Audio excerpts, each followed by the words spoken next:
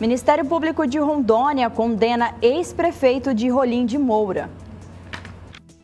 De acordo com a ação civil de improbidade administrativa, ajuizada pelo Ministério Público de Rondônia, o Poder Judiciário condenou o ex-prefeito de Rolim de Moura, Luiz Ademir Choque, mais conhecido como Luizão do Trento, devido ao enriquecimento ilícito gerado por meio de uma empresa contratada pela própria prefeitura. Ainda de acordo com a sentença, os valores recebidos pelo então prefeito somam mais de 140 mil reais entre os anos de 2019 e também 2020. O dinheiro era repassado por uma empresa que possuía contrato com a prefeitura. Ainda segundo a sentença, deve ser pago o valor acrescido ilicitamente e mais uma multa equivalente a esse valor, o que dá o total a ser pago pelo requerido de 282 mil reais.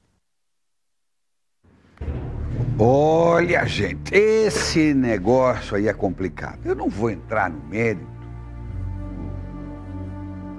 O ex-prefeito Ademir Schockens, porque, enfim, foi um processo, o Ministério Público fez a denúncia, o julgamento, é, mas esse é um problema seríssimo, né? Eu, até outro dia comentei aqui. Muitas vezes o prefeito ele, ele comete erros, às vezes com dolo mesmo, outras vezes com culpa, que é diferente.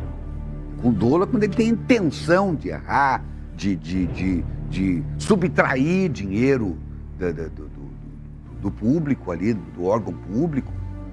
E com culpa é quando erra de alguma forma administrativa, não, não prestou atenção, cometeu um equívoco, mas que deu prejuízo e aí ele tem, também tem que responder por isso. Então eu não, confesso, eu não, não, não acredito que o, que o Ademir Schocknes tenha, tenha é, feito o, o, erro que cometeu, tenha cometido o erro com dolo. Mas estou falando que não acredito. Só que, como eu disse, se, se houve um prejuízo, tem que ser reparado esse prejuízo, porque, lamentavelmente, é, a, a, a lei é assim. Quer dizer, lamentavelmente não. Todos nós somos, somos é, recebemos uma missão né, para acertar. Agora, quando a gente comete erros, qualquer tipo de equívoco e, e causa prejuízo a alguém, a gente tem que reparar esse dano. Mas vamos aguardar, talvez ele possa ainda recorrer, vamos, vamos esperar mais um pouco, mas, de qualquer forma, esse é um fantasma enfrentado pelos gestores públicos, que não raras vezes saem de seus cargos com bens bloqueados, com problemas eh, na justiça, respondendo processos, que às vezes se arrastam por anos e anos, e não raras vezes também, depois de 10, 12, 15 anos, são inocentados, mas já pagaram o preço lamentavelmente. Vamos aguardar o desfecho desse caso.